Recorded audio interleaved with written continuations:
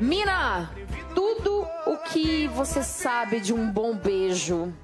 O que é que, é que um bom beijo é capaz, Mina? Olha, Pamela, eu até saber muitas coisas, inclusive que beijo na boca é coisa do passado, mas deixa essa parte pra lá. Mas por falta de boca pra beijar, eu vou deixar essa resposta a cargo do mestre do antimatéria. Inclusive, um beijo pra você, Rodrigo Alvarez. Beijo na boca, no antimatéria e na tela.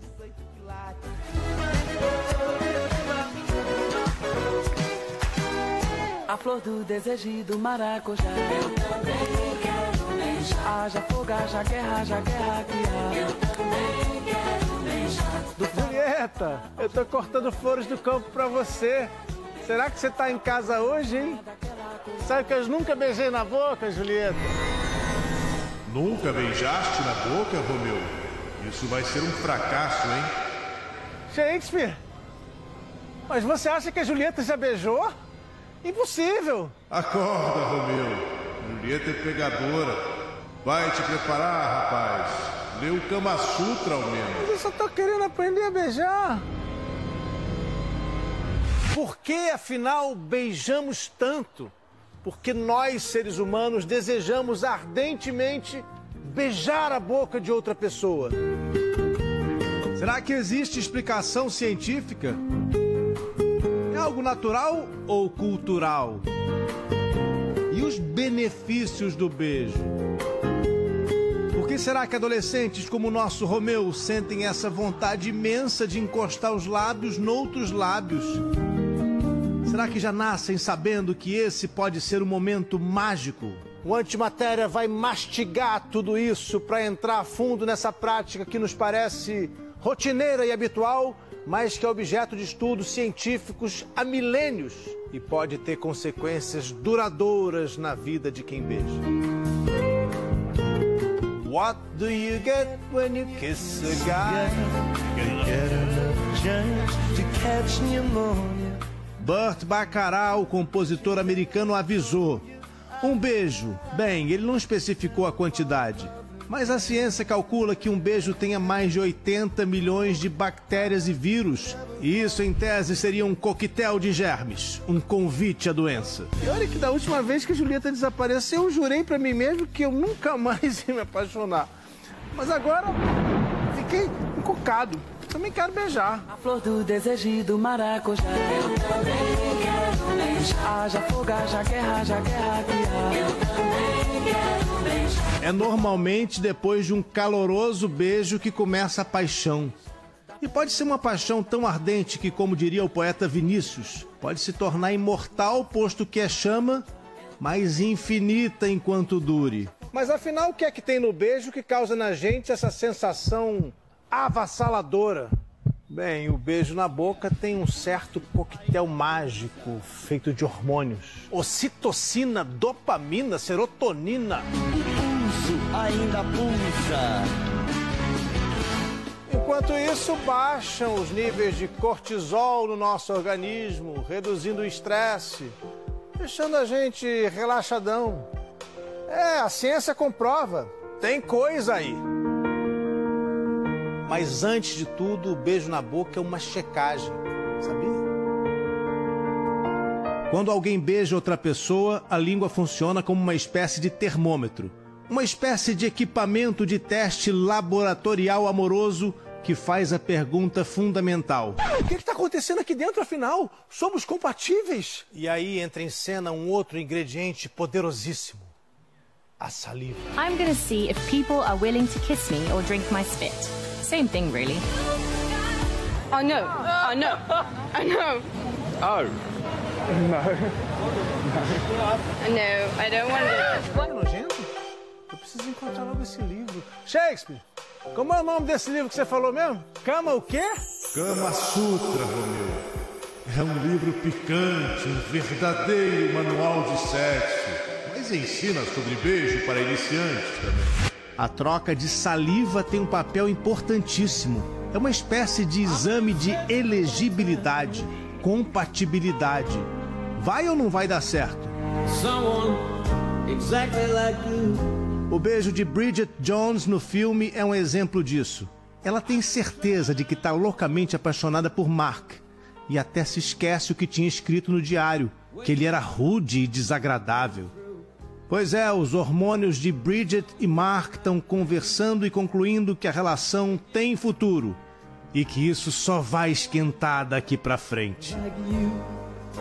Não dá vontade de beijar vendo esse beijo? Mas e quando a pessoa não pode beijar? Ou pior que isso, é proibida de beijar?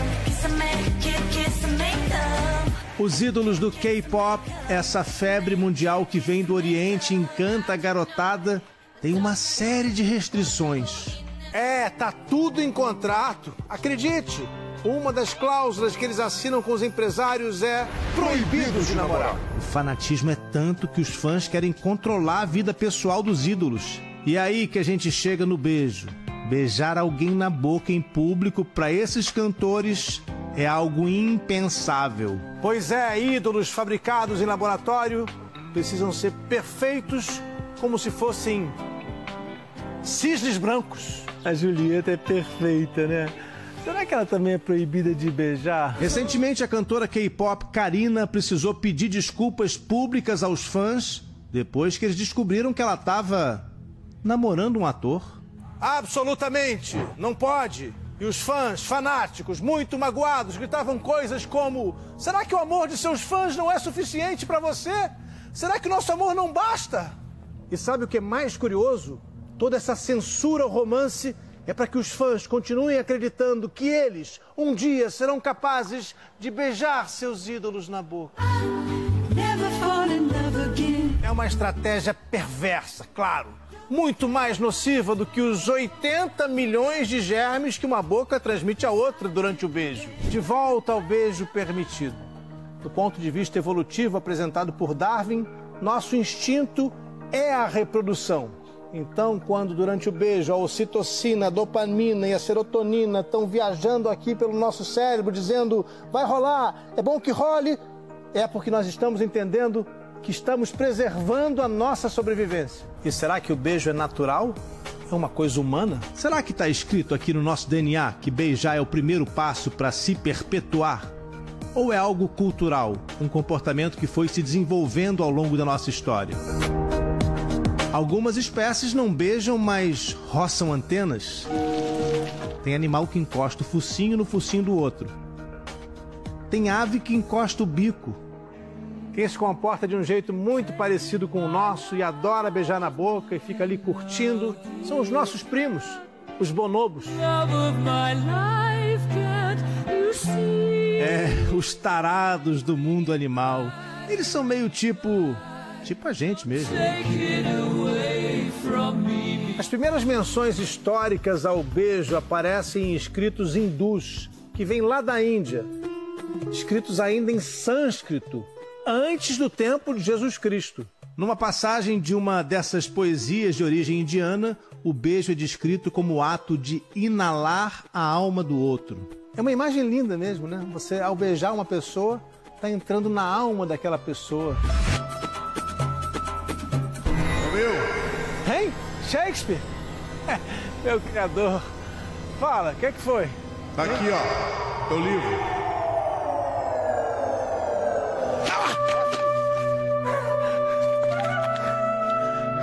Kama Sutra.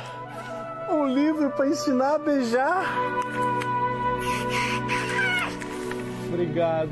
No Kama Sutra, que é um manual sobre sexo e amor, existem explicações sobre vários tipos de beijo. Tem o beijo reto, tem o beijo enviesado, tem o beijo apertado. O Kama Sutra tem também instruções para você aprender a beijar.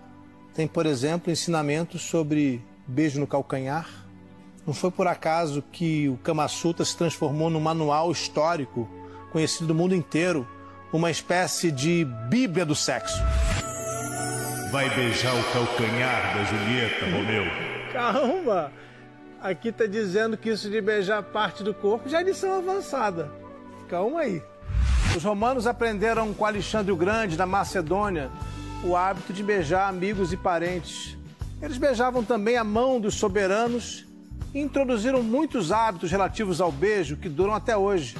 Como, por exemplo, o noivo beijar a noiva na frente de todo mundo no dia do casamento. Mas a realidade é que o beijo nem é natural, nem universal. Pesquisadores americanos das universidades de Nevada e de Indiana descobriram que menos de 50% das culturas do mundo beijam na boca.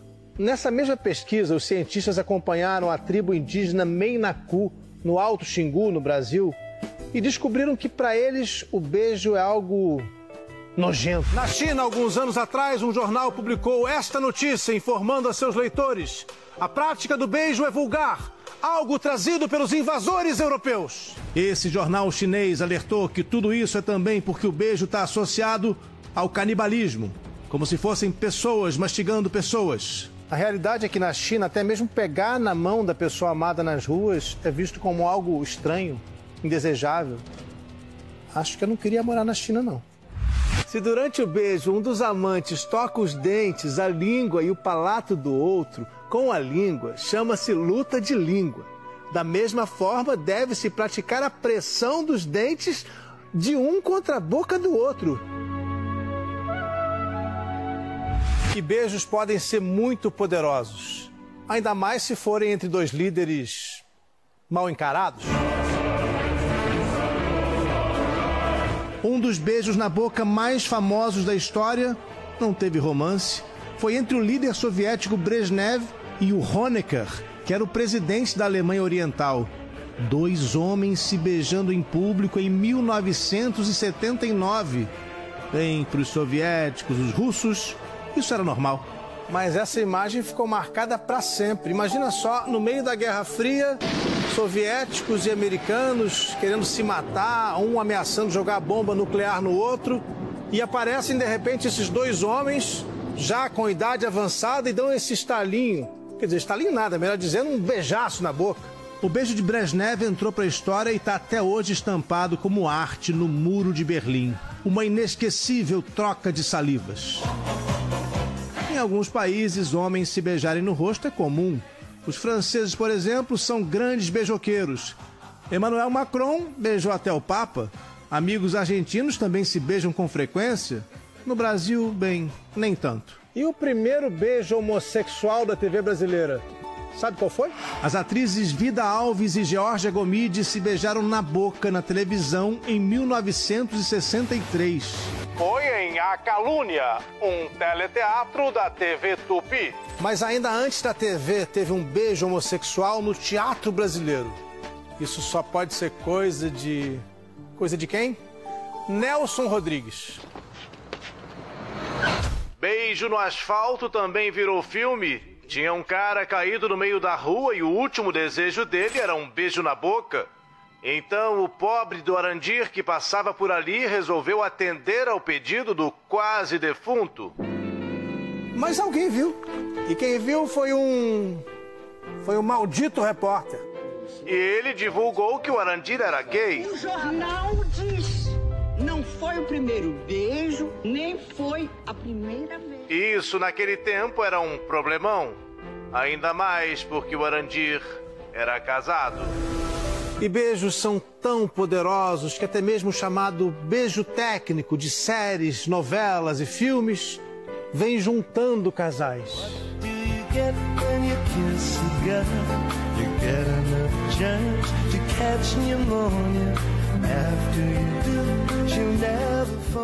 Aí vem o chato do Freud dizer que o beijo é a volta à sensação da sucção que a gente sentia no seio materno.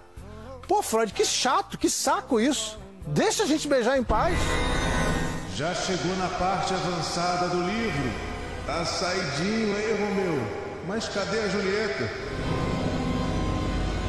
Então, vamos terminar essa antimatéria vendo beijos? No filme Cinema Paradiso, o menino que passou a infância naquele cinema recebe como herança do já falecido projecionista Alfredo uma linda montagem dos beijos que tinham sido censurados pelo padre ao longo dos anos. É de arrepiar. Fim do antimatéria? Ainda não. Eu tô muito curioso para saber o que aconteceu com o nosso querido Romeu. Julieta, meu amor, você vem? Tô pronto pra te beijar. Vem. Da última vez que você invadiu o quarto da Julieta, ela tinha saído com outro cara. Por que, é que você não passa lá na casa da Cinderela? Cinderela? De novo? Você sempre entrando em confusão, Romeu? Não te chamo mais pra antimatéria, hein?